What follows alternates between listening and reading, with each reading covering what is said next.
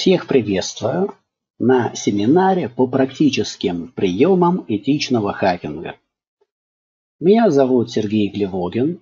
Я инструктор в Центре компьютерного обучения, специалист. Возможно, вы уже у меня учились. Возможно, только планируете. Если в интернете www.klevogin.ru наберете ко мне на страничку в Центре компьютерного обучения специалист, попадете. Тут написано «Давно в специалисте работаю, различные курсы провожу, имею много разных статусов». Но помимо курсов мы проводим различные семинары. И на этих семинарах мы изучаем, какие есть курсы, а зачем нам знать, какие есть курсы? Для того, чтобы лучше готовиться, для того, чтобы идти по пути этичного хакера, чтобы организовать целое сообщество, чтобы быть на связи, чтобы быть в контакте и за пределами курсов тоже. Ударный курс в специалисте, курс по этичному хакингу. Самый известный курс, я считаю вообще самый лучший курс в Центре компьютерного обучения. Но нельзя пять дней отучиться хакером стать. Поэтому курс по этичному хакингу и тестированию на проникновение сопровождается другими курсами. Есть даже описание на сайте, что вы, пожалуйста, прогарантируйте, что вы успешно предыдущий курс завершили. Целая линейка курсов есть. На семинарах мы разбираем что-то, что выходит за пределы программы этих курсов. В то же время к курсам каким-то образом относятся. Какой-то семинар больше ориентирован на курс по хакингу, какой-то семинар поближе к курсу по защите, по атаке защите веб-сайтов. И на семинаре мы вопросы разбираем, параллельно на курсы поглядывая, но не для того, чтобы узнать, что они есть, а для того, чтобы понимать, откуда что берется, откуда оно происходит. Чтобы не повторять материалы курсов, а все равно, чтобы было как-то связано, я на семинаре люблю рассказать, как проходил какую-то реальную машину, какой-то реальный случай. Давно играю в машины на платформе Hack the Box, вы, наверное, об этом тоже знаете.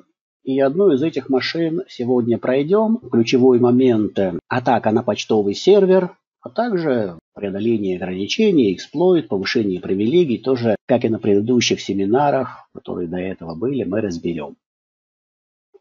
Я обращусь к тем участникам, которые только начинают свой путь в информационной безопасности и думают, может быть, мне тоже платформу Hack the Box играть.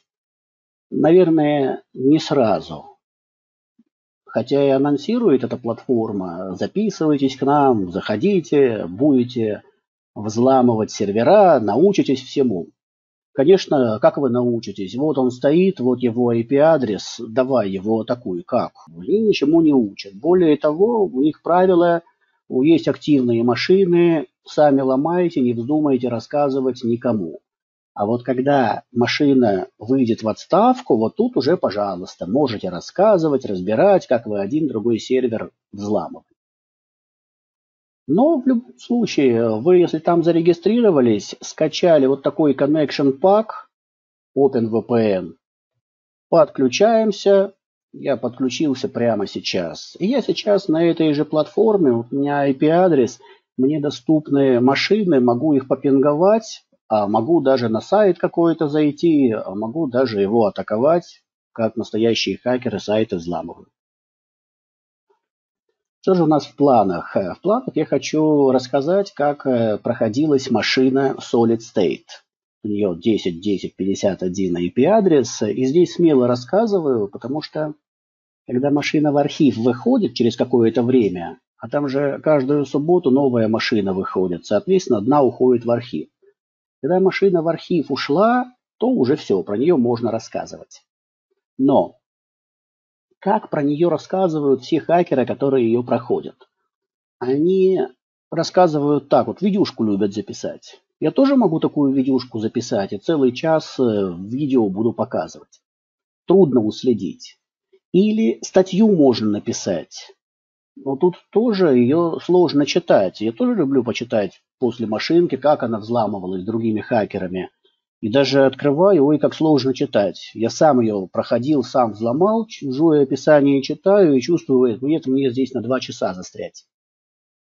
Поэтому мы проводим семинары, чтобы вот эту машинку я вам рассказал и самые основные моменты подчеркнул. А еще так и буду норовить у вас чего-нибудь спросить. А вдруг вы мне что-нибудь тоже расскажете, я у вас спрошу. Мне всегда будет перед глазами чат. У вас он тоже есть. Может быть, на моем э, экране вы этот чат не видите. Но он у меня есть, я его поглядываю. Если кто мне в чат что-то напишет, я тут же прочитаю, напишу, а когда я буду вопросы задавать, вы мне в чат смело пишите, я буду комментировать, прям тут же интерактивничать будет. И почему Solid State выбрал? Потому что мы не первый раз встречаемся, и месяц назад мы снова собирались и проходили машинку плеер. И дошли до одного места, а там был документ, и документ говорил, смотрите, какая хорошая техника. А она у нас там не получилась, но там было написано, в Solid State это точно работает. Я думаю, ну дай-ка хоть посмотрим машину, где эта техника точно работает, поэтому дай-ка ее сейчас э, вместе с вами пройду. Давайте расскажу, как эту машинку проходил прямо вместе с вами. Давайте начинать.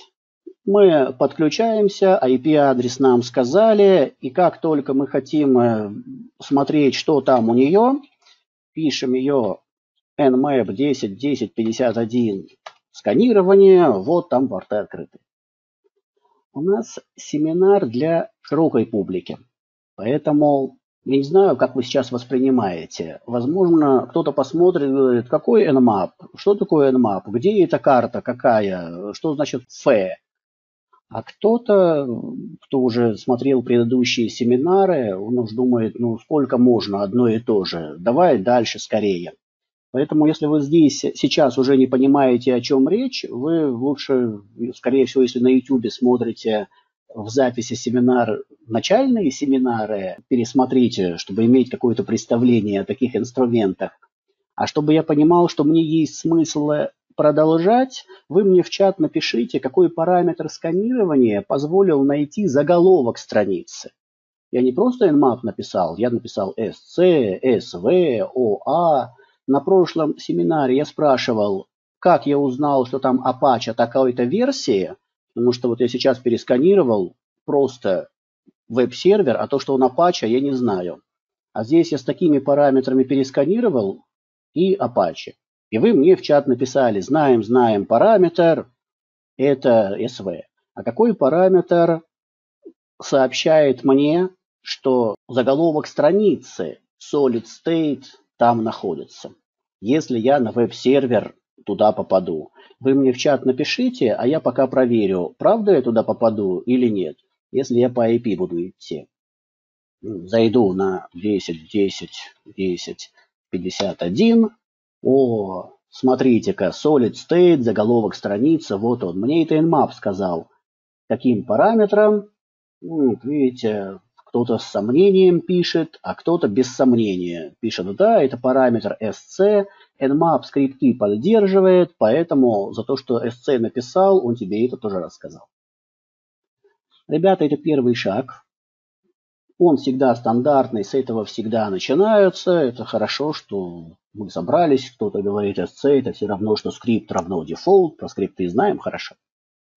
Что мы увидели? Что там веб-сервер, есть SSH, 22 порт, и, как обещал, почтовый сервер, 25 порт тоже есть.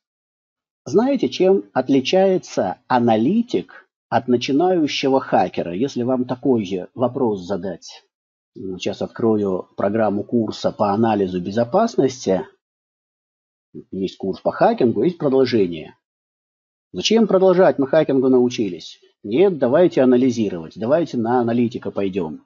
Я когда только начинал 10 лет назад, мне эта фраза врезалась в память из учебника. А может быть у вас есть какое-то мнение, чем аналитик отличается от хакера?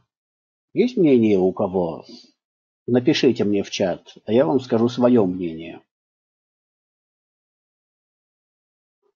Точнее, я скажу не свое мнение, как в учебнике написано было.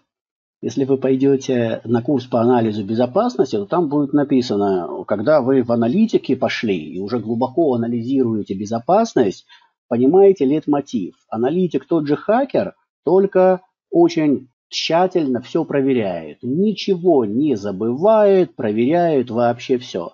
Поэтому хакер, он быстренько что-то посканировал и узнал, а аналитик все просканировал и узнал. Вот этот параметр P- означает, давайте все порты. Ты же два часа будешь сканировать. Ничего, зато я узнаю, вот еще один порт есть, и он еще один порт нашел. То есть, если смотреть, я просто посканировал, то уже хорошо, есть что атаковать. Но если мы глубоко анализируем, надо не полениться и не минус f написать, а минус p минус написать. И тогда дополнительные сервисы откроются. Часто бывает не нужно эти дополнительные сервисы атаковать, но в данном случае нам пригодится.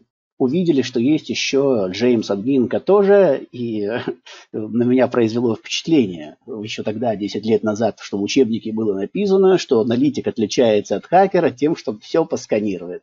Вот я с вами э, своим э, воспоминанием десятилетней давности делюсь.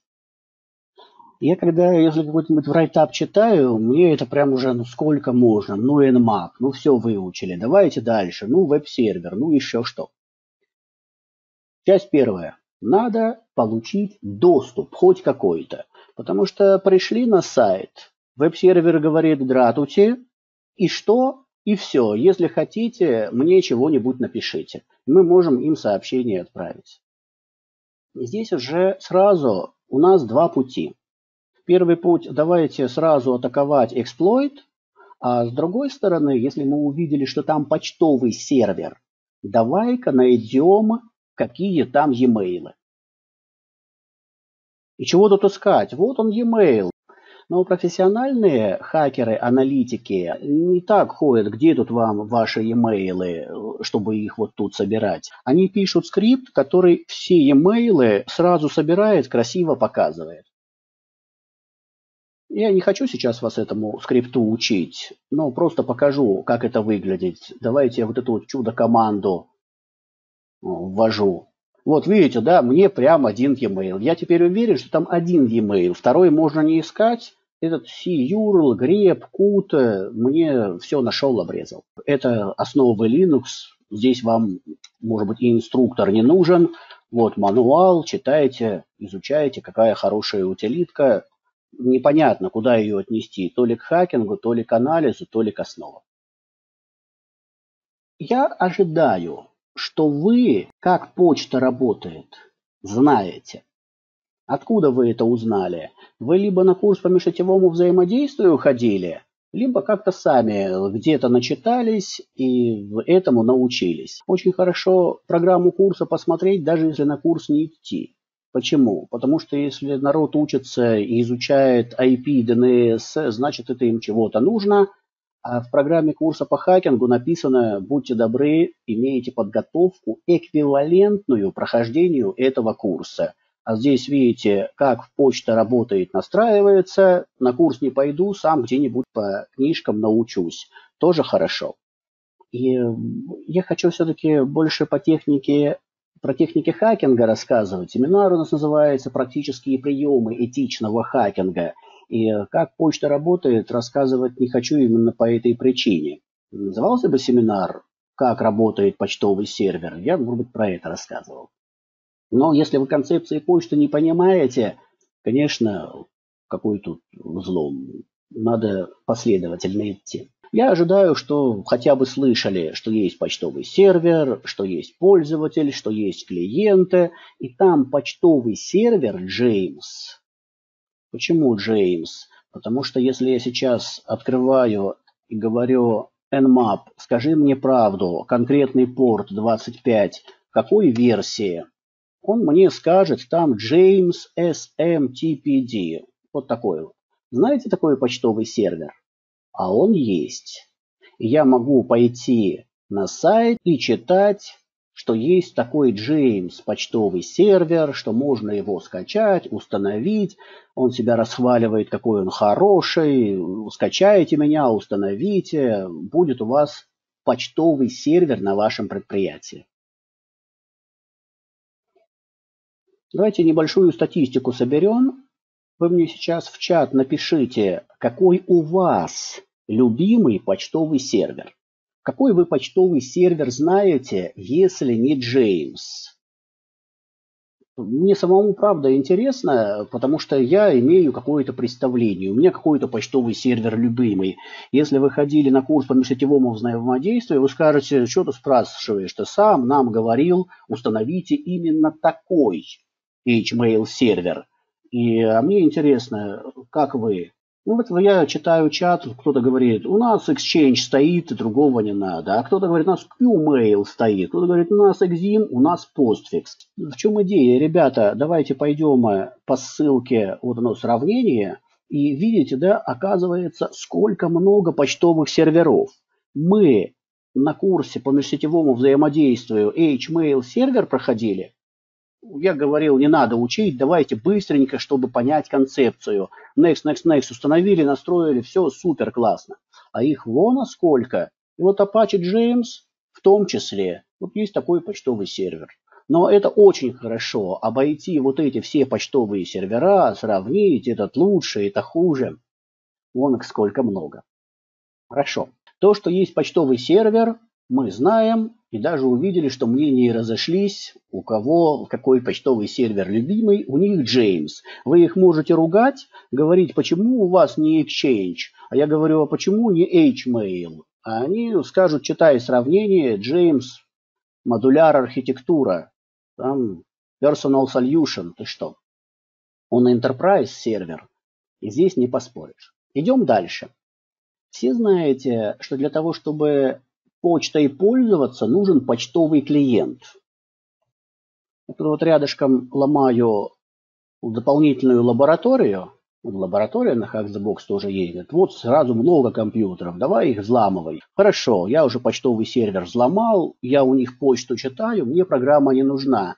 Я видите, что использую? Outlook Web Access. Вот хороший клиент, да? Но это же не единственный клиент. Узнаете то, что мы на курсу по межсетевому взаимодействию проходили, то, что я часто люблю устанавливать, Thunderbird, почтовый клиент. А у вас, э, пока я ссылку открою на сравнение почтовых программ, какой любимый клиент? Мне напишите в чат и подведем статистику, я вам скажу, какой у меня любимый клиент. Кто-то пишет мне бат. Чем вам бат намазан? Любят и любят. Я попробовал, мне не понравился. Кто-то говорит, а у меня тундра. А кто-то говорит, Outlook. Деньги-то уплачены. Уплачены деньги. Офис стоит, а Outlook идет в комплекте. Ну что ты? А я говорю, а я вот как привык Outlook Express, так до сих пор его и использую. Outlook какой-то, Outlook Express. Я с детских лет его использовал, и пока он будет работать, буду использовать. А тут вот Thunderbird.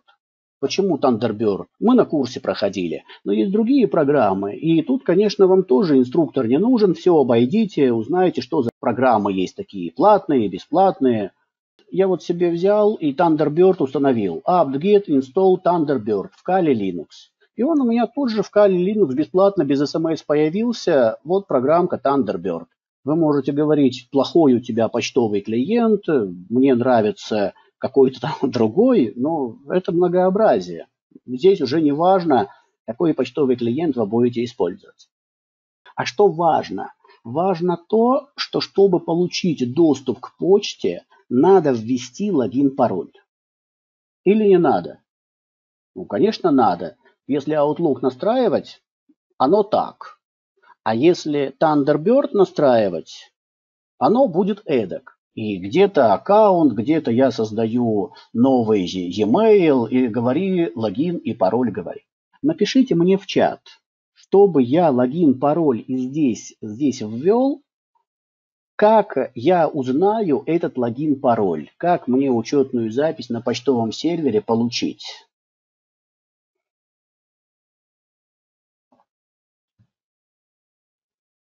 Знаете, как получить учетную запись на почтовом сервере? Антон пишет, я фишингом всегда учетную запись на почтовом сервере получаю. Кто-то говорит, а что тут зарегистрироваться, пойди Mail.ru, зарегистрировался и получил учетную запись.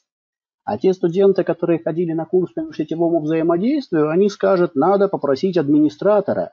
И чтобы администратор в HMail сервере, как мы проходили, учетную запись нам создал, и мы в эту учетную запись будем подключаться.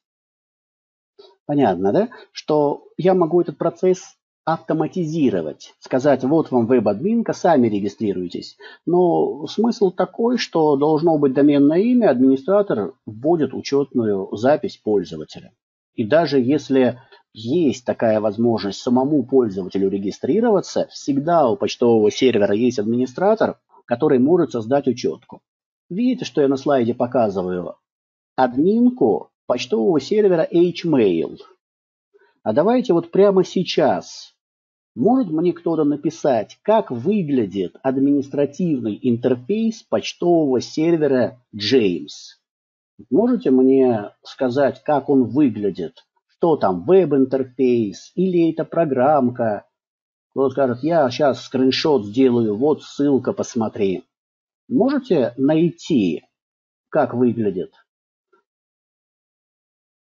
Ну а как? Google, открываем, читаем, изучаем. Я захожу на эту страницу, где оно. Я нахожу вот этот вот сайт, а сайт говорит, если ты хочешь установить чего-то там через James, то ты вот так к нему подключись, пароль здесь введи, welcome admin оно тебе напишет, и так оно будет. Вот так выглядит админка у этого почтового сервера. Вы пошли Apache James Next, Next, Next скачали, установили. Джеймс, как тобой рулить? Где здесь консолька? А он скажет, хочешь в докере запущусь? А как управлять-то? Читай документацию. А документацию читаем, тут вот так вот написано. Понятно, да, что веб-сервера по-разному управляются. Давайте попробуем этот Джеймс прямо сейчас поадминистрировать. Я возьму и напишу telnet на какой у него там IP-адрес и на порт, который мы просканировали, определили. Подключусь, telnet 4555, и он мне говорит, а как тебя зовут?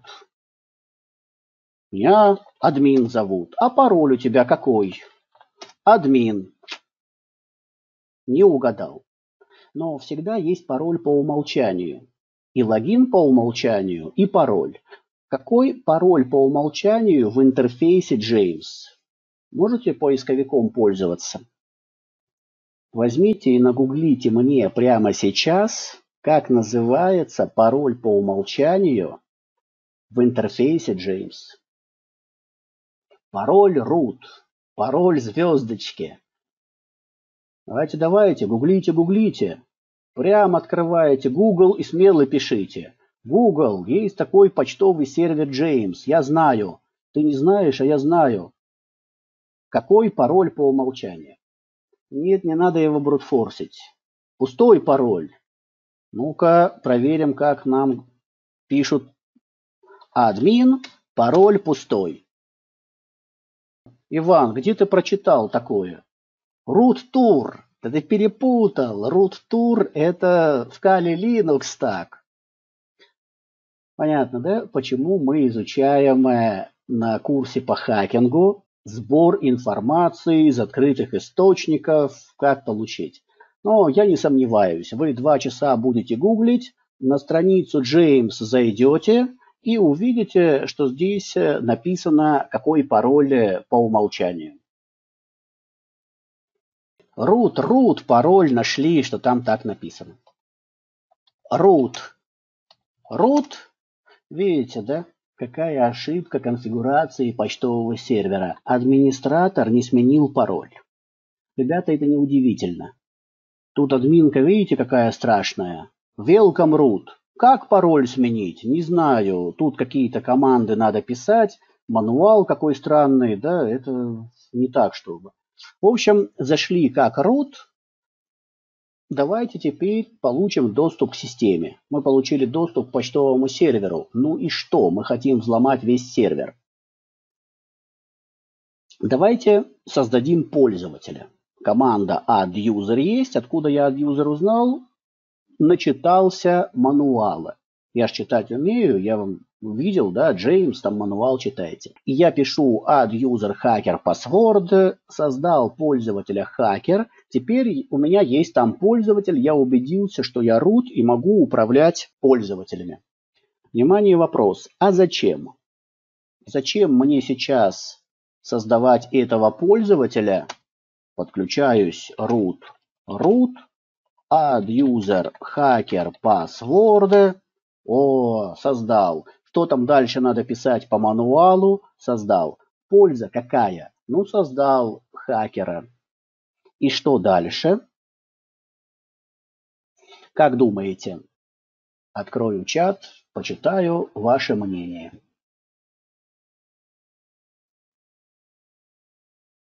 Почту делать.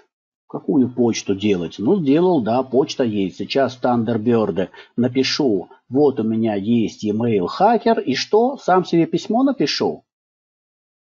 Зачем мне самому себе письмо писать? Кому я какую письмо напишу? Я не знаю, кому что писать, хотя знаю, один e-mail есть. Уже хорошо. А я пользователя создал, от этого пользователя напишу.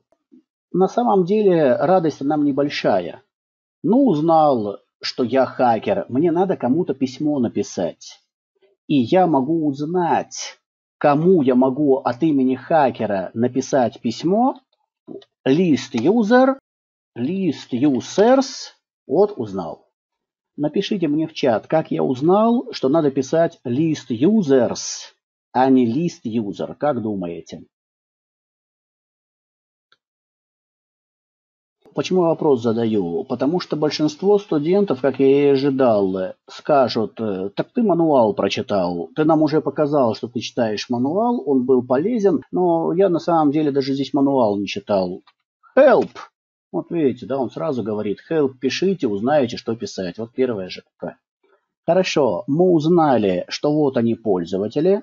И, естественно, вы совершенно правильно в чат пишете. Если мы админы, мы сейчас всем этим пользователям пароли поменяем и почту их почитаем. Только вот пишите set password и сбросьте пароль, и потом зайдите в Thunderbird, сброшенный пароль, и почитаете почту другого человека. Понятно, да? Я не буду сейчас сбрасывать пароль, эти команды прям печатать, заходить. Я вам покажу результат. Что я одному пользователю сбросил пароль, посмотрел, что у него, другому, третьему. Вот у пользователя Минди я нашел сообщение в почте. Минди, твой пароль такой-то, заходи по SSH. Понятно, да, как я это сделал? У меня была админка, я начитался справочников, пароль сбросил, одному пользователю сбросил, там неинтересно, другому, третьему, а у четвертого пароль узнал. И зачем мне этот пароль? Естественно, подключиться по SSH, да? Давайте, давайте я подключусь по SSH. И что? Говори пароль. А пароль я знаю. Я его в почте прочитал, я подключился, я там как этот пользователь. Доступ к системе получил хорошо. Но это еще не все. Когда я подключился, мне доступны какие-то команды. Да, действительно, я могу написать ls, куда я подключился, могу прочитать секретные данные, но на этом э, мое управление сервером заканчивается. Больше ничего писать не могу. Почему? Потому что я пишу ID, напишу ID, не пускают. Пишу PVD, PVD пускают. А если какую-нибудь другую команду CD, не пускают. То же самое, что мы видели на прошлом семинаре, когда машинку плеер разбирали. Помните, такая же была ситуация. И у нас есть ограничения. То есть мы можем файлы читать, что в текущем каталоге мы можем посмотреть. А переходить в другой каталог мы не можем. Shell ограничен. Такой ограниченный shell, да. Есть такая технология, Здесь, помните, вот эту PDF-ку читали, и она нам не помогла.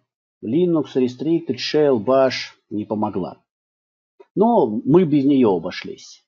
Но здесь написано, попрактикуйтесь, Solid State, легкая, обойдете.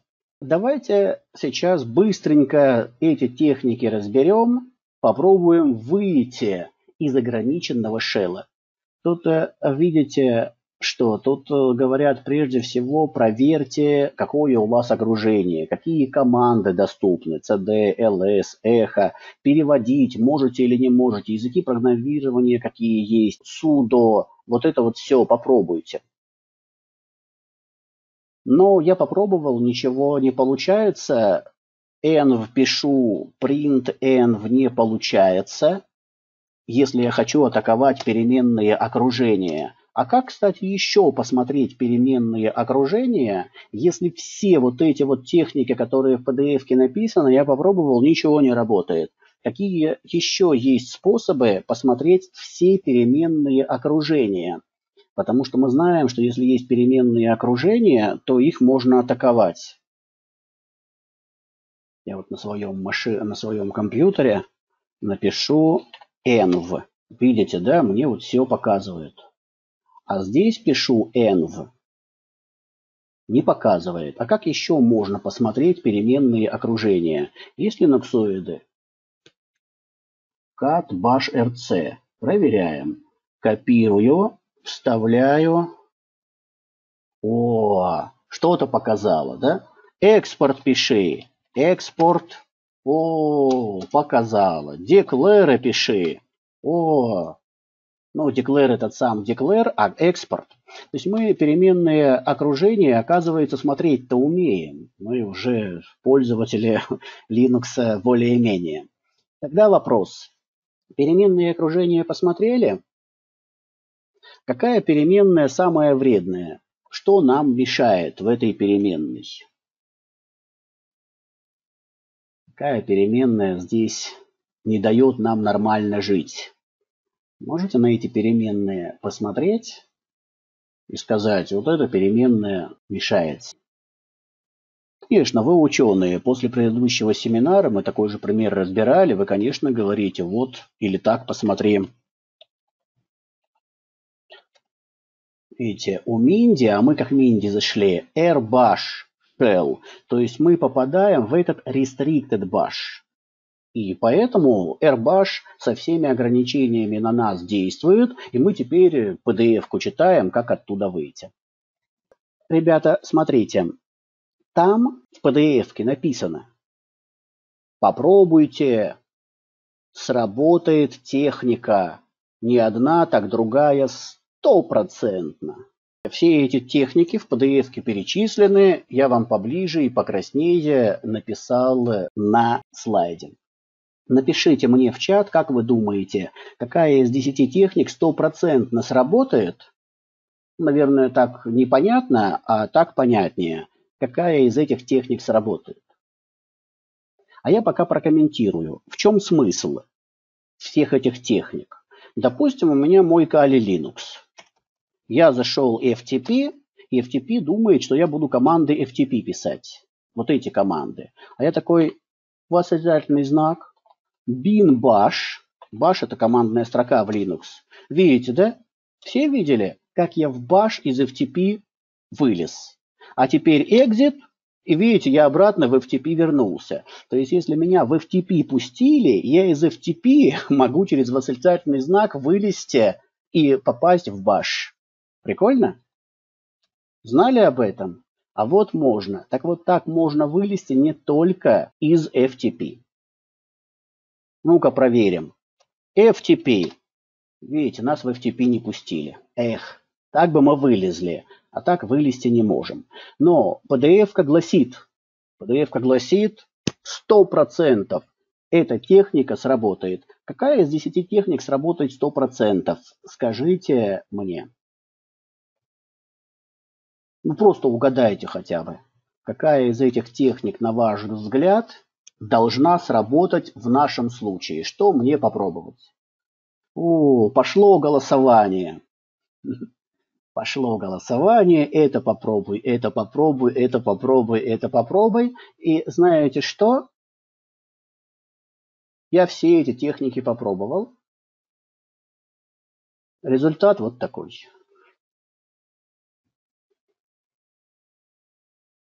Понятно? Ни одна из техник не сработала. Как же так? Авторы PDF-ки, вы чего? Вы нас обманули. Так нечестно. Называется, ребята, не нечестно. Это называется unintended way. Когда я эту машинку проходил, у меня в заметках даже это написано. Я мог вот так вот здесь баш написать, и баш открывался. А потом разработчик говорит, нет, мы так не хотели. Мы не хотели так.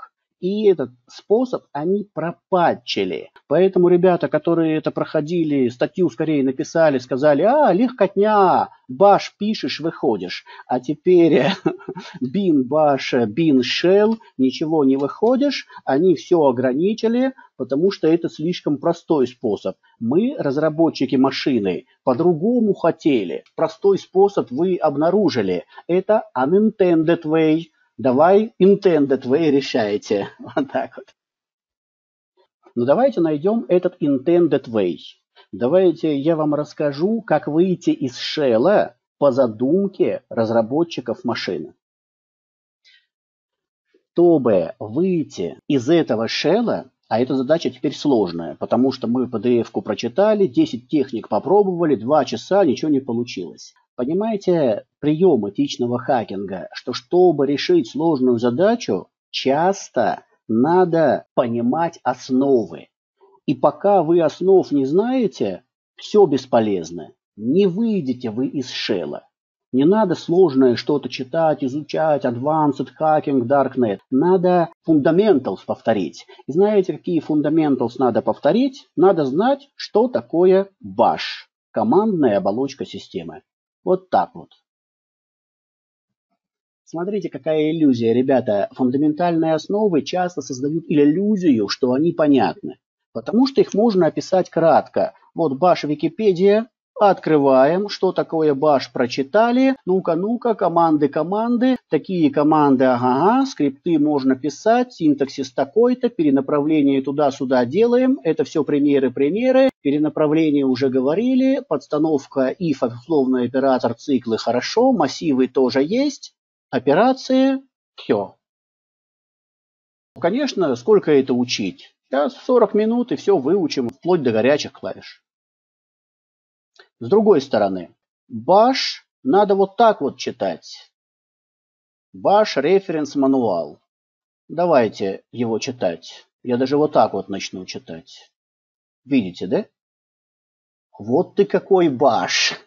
Вот как, значит, про тебя надо читать. То есть я, у меня уже рука устала мышку тянуть, а оно все не успокоится, все объясняет, как команды, баш, как работает, как устроит.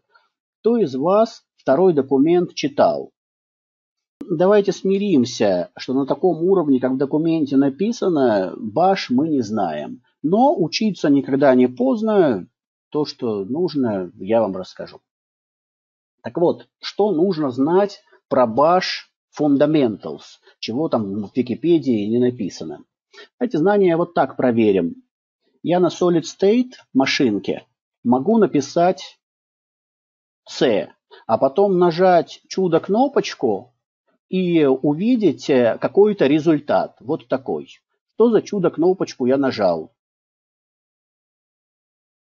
Первый вопрос. Что я нажал? Что на машинке в Linux такое? Табуляцию нажал. Правильно, ребята. А теперь мой Kali Linux ту же самую табуляцию нажал. И он говорит, ты с ума сошел? Все 180 вариантов хочешь смотреть? Да, хочу. Вот, пожалуйста. Почему здесь 180 вариантов, а здесь можно пересчитать? Почему? Как это называется и где определяется, знаете?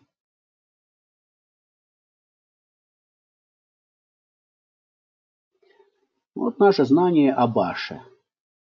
Нет, это не пас, это не юзербин.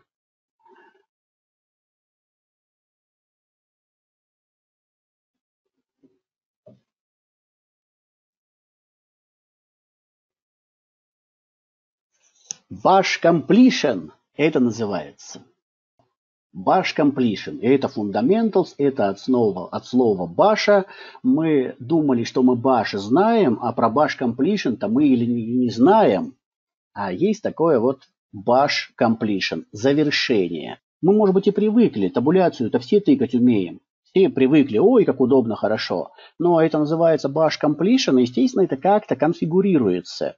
Мы можем настроить так, что у нас э, bash completion будет срабатывать так, как у меня вот в Kali Linux даже больше. Здесь у меня на слайде сколько было, там 169, здесь 180, здесь еще круче она настроена.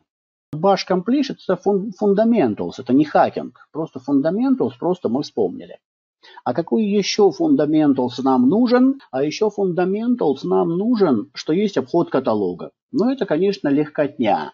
Это я сейчас напишу ls две точки слэш, из текущего каталога выхожу в любой другой каталог. Где я нахожусь? Каталог root cd, две точки слэш, etc. О, в etc попал. Обход каталога есть. Давай обратно, две точки слэш root, перехожу. Это тоже. Все.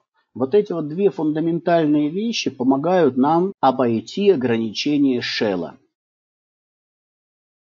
Здесь, конечно, хорошо остановиться и подумать. Ну, фантастика. Ну, Bash Completion, ладно, не знали. Сейчас пошли, прочитали. Оказывается, вот здесь вот Bash Completion какие-то на каком-то языке что-то тут написано, и так определяет, как будет, когда мы жмем табуляцию, как будут дополняться команды и параметры.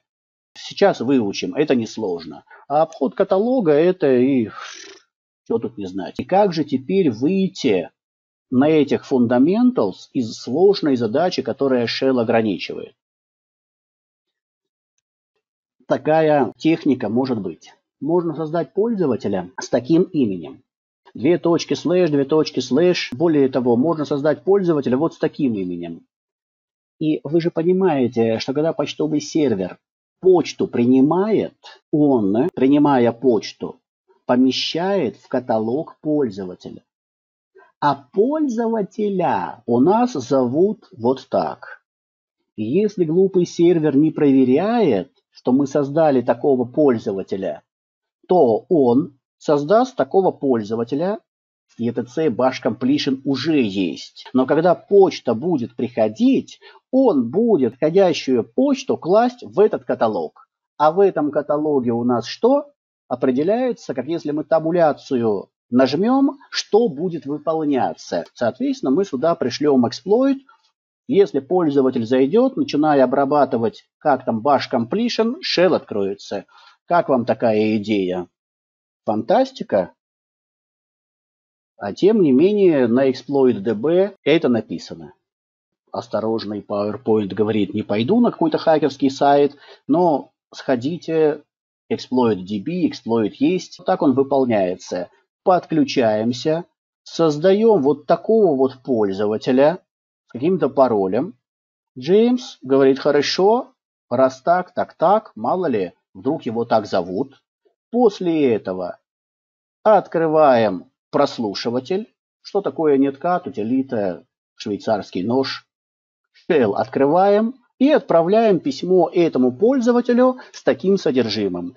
Оно попадет в этот каталог Bash Completion, пользователь, когда залогинится, начнется вот этот вот скрипт выполняться. А скрипт как выглядит? Я его даже показывал, как он там в кале у меня. Если чего-то там, то чего-то там. А тут будет без всяких «если». Давай ко мне обратно, и откроется shell. Классный эксплойт? Классный. Только заминочка небольшая. Видите, письмо не отправляется. Да, Thunderbird запустил. Отправь письмо этому пользователю. Я только что его вот так вот красиво создал. Я его создал, user OK. А Thunderbird, умный какой, да, говорит, не буду отправлять. Неправильно, не по форме, пользователь. Что делать? Напишите в чат мне, кто сейчас присутствует на семинаре. Как бы вы поступили, если такой крутой эксплойт не работает по такой банальной причине?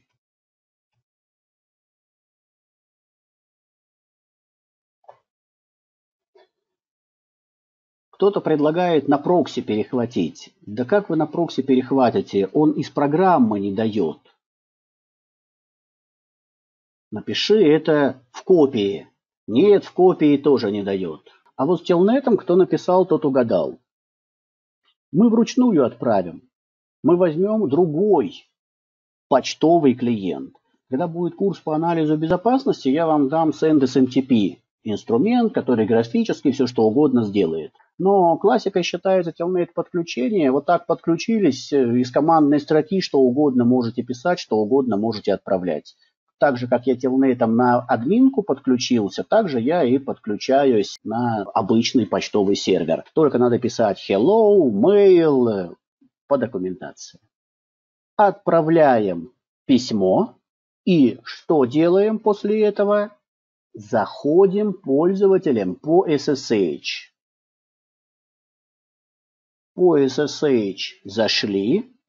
Система думает, как там тебе bash completion, чтобы тебе, когда ты будешь табуляцию жать, чего там показать. А там вместо вот этого дурацкого скрипта if чего-то там написано давай-ка nc. Вот shell открылся. Все помнят, откуда мы узнали пароль пользователя Минди?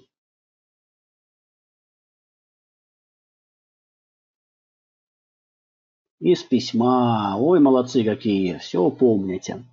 А теперь э, давайте о безопасности подумаем. Вот чтобы так Shell не получили. Как защититься? Как э, можно от этого защититься?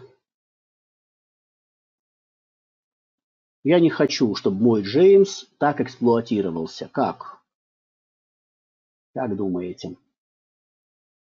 Пароль вы пишете, надо сменить, конечно, хорошо, но, может быть, получше можно. Запретить bash completion? Нет. Порт закрыть. Firewall, да, хорошее решение. Кто-то скажет, это пропачить надо, Джеймс. И, допустим, я сделал все, что вы мне сейчас в чат написали. И порт закрыт, и межсетевой экран, и все хорошо. Защитился? Не защитился. Почему? Потому что опять unintended way остался. Опять остался unintended way. То есть, смотрите, я рассказывал, как сложно юзера создать, две точки слэш, письмо отправить, shell туда-сюда. Я даже после того, как они пропатчили, все равно вышел из этих ограничений не так, как они задумали. Опять я нашел второй unintended way. И в этом, ребята, суть хакинга. Что unintended way, ненамеренный путь, неизвестно, когда кончится. А он, может быть, э, будет. В данном случае вы сто раз пропатчили Джеймс и все сделали хорошо, а вот он, unintended. Смотрите, что я делаю. Вот здесь вот SSH я пишу bash. Опа! Теперь по паролю захожу. И что? Пожалуйста, вот тебе ID, вот тебе все что угодно, CD куда угодно, LS чего угодно, без всякого вот этого две точки слэш эксплойта, bash completion можно было не учить. Суть хакинга. Будет какой-то unintended way, что можно пройти не так, как э, там, задумывалось. И когда вы думаете, ой, какой эксплойт, надо защититься, защитились, может быть, такой способ проглядели, просмотрели. Конечно, создатели машины хотели чтобы мы мучились, чтобы мы bash completion изучили, но такой трюк позволил выйти из ограничений другим способом. Напоследок несколько слов о том, как до рута подняться. Перечисление файлов, конечно, мы теперь все, что можем делать. CD пишем, ls пишем. Давайте этот момент мы ускорим. И я вам просто покажу, что я нашел вот в opt скриптик. cd opt cat tmp. О, видите, да, что я нашел? Вот этот скриптик удаляет все файлы в каталоге TMP. Ну, правильно делает, потому что вдруг я хакер, взломал машину, во временном каталоге у меня там мои эксплойты, какой-то там другой новичок подключился, моими эксплойтами привилегии поднял. Правильно скрипт удаляет все, что в каталоге ТМП. Но напишите мне в чат, что не так с этим файлом. Почему он э, мне нравится, что я его красным написал, что не так. У файла tmp расширение 777. Так, очень хорошо. А еще что? А еще у нее владелец root. То есть, если root владелец, то, возможно, root этот tmp и запускает. Но раз он все файлы удаляет. А у нас сюда, в этот tmp, есть разрешение писать. Все. Конечно, теперь Понятно, теперь все. Здесь юмор какой, что когда машину решаешь, а я люблю одним из первых решать, если время есть, я прям машина выходит, я прям сразу хочу первым, чтобы мне никто не мог подсказывать, чтобы я всем только подсказывал. И когда вы не знаете, что вот этот каталог вот там такой лежит, как его найти? Да, конечно, азарт, интересно, сейчас все быстренько проверим, где наши скрипты. Но когда вы это нашли, Тут уже что? Тут уже мы, ого, мы даже без умения программировать на питоне быстренько, где наши друзья, пентест, манки, другие хакеры, научите, как нам так изменить этот питоновский скрипт, чтобы он открыл shell. И когда в следующий раз этот скрипт будет из крона или как-то там еще запускаться, будет все удалять, он заодно и к нам подключится. Умеете из питона реверсный shell открывать? И не надо. Google, научи, как открывать shell. Тут же скажем, вот OS System и погнали. Допустим, вот это чудо-команда откроет shell. Смотрите, что я делаю. Пишу nano tmp python, а он говорит, не могу открыть терминал. Это что такое? Как, что, где? Как мне открыть терминал, видите, не дает править. Не понял. ls минус l tmp. Ну вот, rvx. Я хочу редактировать. Когда надо из такого шелла в терминальный выйти, я сразу вот так пишу или copy-paste, у меня более-менее нормальный shell, где я пишу nano ТМП. Хотя тоже, видите, терминал не открывается. В общем, нано какой-то не такой. А если даже откроется, опять не так, начинаются, не могу печатать, опять что такое. Как же внести изменения в этот файл TMP, чтобы там вот эта вот строчка появилась, если редактором пользоваться не могу. Есть линуксоиды, кто посоветует, как файл подменить, если он вот так вот у нас сопротивляется? Есть, есть хакеры, советчики есть. Кто-то говорит, перенаправление сделай, просто вот это вот эхо и перенаправлением файла. Эхо ты можешь писать? Эхо, окей, окей, окей, эхо могу писать. Ну и все. Понятно, да, как хорошо уметь редактировать файл в bash. Эхо, вот это, туда, и root открылся.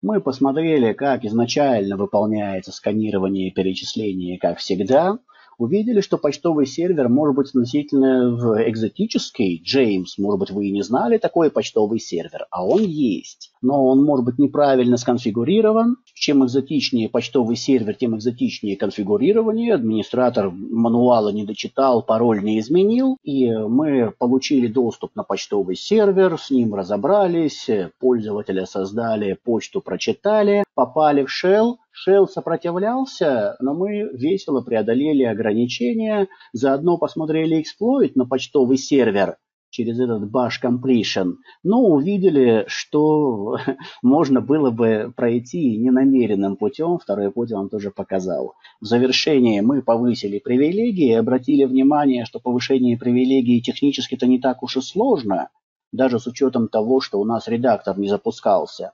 Но поиск, как такую конфигурацию обнаружить, ну, вопрос более серьезный. Мой Kali Linux, вдруг у меня тоже такая же страсть где-то, как я это узнаю? И если кто-то ходил на курс по защите от хакерских атак, он сейчас скажет, о, это мы проходили, это нам показывал, скриптик запускаешь, он все проверяет, если такой проблема конфигурации будет, мы ее обнаружим. Очередной семинар по практическим приемам этичного хакинга заканчивается. У нас еще есть какое-то время. Можем еще пообщаться в чате. Если какие-то вопросы, всегда добро пожаловать задать. С этим наш семинар заканчивается. Спасибо за участие и успехов на пути специалиста информационной безопасности.